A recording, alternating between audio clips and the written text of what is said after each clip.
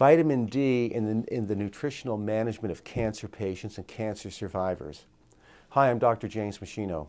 You know, there's much evidence that vitamin D has an important role to play in preventing cancer. But can it help people that have already had cancer or who are being treated for cancer? And the evidence suggests that yes, it can be very, very helpful.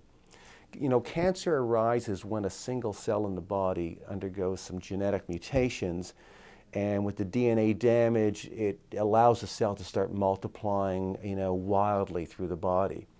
But because the cancer cell arose from a normal cell in the body, cancer cells still have many features of normal cells. And one of those features that they often have is that they still have vitamin D receptors. So even cancer cells, if they arose from a tissue that already had a vitamin D receptor, will have vitamin D receptors on it.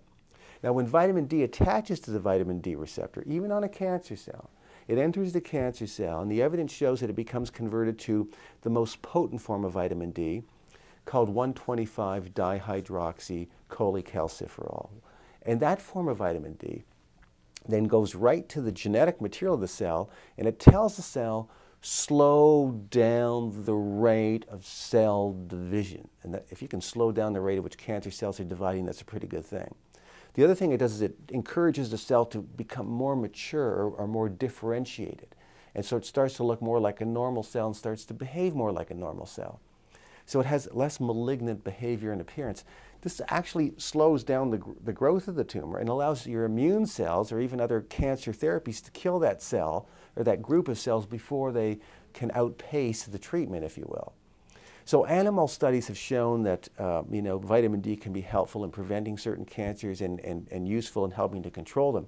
But recently we now have studies from human investigations showing the same thing. Now remember that vitamin D also improves uh, the modulation of the body's immune system. You need your immune cells to, to help find cancer cells, hunt them down and kill them. To a large degree, cancer is immune system failure because throughout your entire life you're making cancer cells from time to time and your immune cells are knocking them out. When cancer becomes a clinically uh, uh, significant condition in your body, it's because your immune system failed to identify the cancer cells and kill them.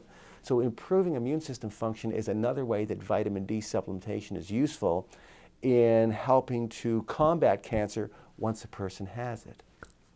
So the very, one of the first studies that was done where they used vitamin D in people that had cancer was in patients, that men who had prostate cancer that was not being controlled well. The drugs and so on were not controlling it. And so they added vitamin D supplementation. They were able to show a, a great, much more uh, improved stabilization of the disease and better long-term outcomes for those patients. So it's very important. Uh, many cancer doctors use between 5,000 and 50,000 IUs a day as part of adjunctive nutritional management of cancer, just so you're aware of that. Now, when you're using doses that high, you have to make sure that your, uh, your blood level doesn't go above 250 nanomoles per liter because that would give you vitamin D toxicity. So anytime you're taking vitamin D doses above 2,000 international units, there needs to be physician monitoring of your blood work to make sure you don't go into the toxic range. To understand this better, click on the link below, read my article called Study Confirms the Value of Vitamin D Supplementation in the Adjunctive Treatment of Prostate Cancer. All the scientific references are there so you know you're getting only evidence-based information on this subject. Now, meschinohealth.com, you'll see my other research review papers. You'll see footage from my live professional seminars. You'll see other downloads and videos and resources I've created. They're all there to help you lead a long, healthy, functional life, and they're all free. So the research review articles that I have, my teaching materials, all have the scientific references in them, so you'll see you're getting only sound scientific information from me on any health topic that you're looking for. So you should make meschinohealth.com an ongoing, reliable resource of health and wellness information for you and your family members. Thanks so much for watching.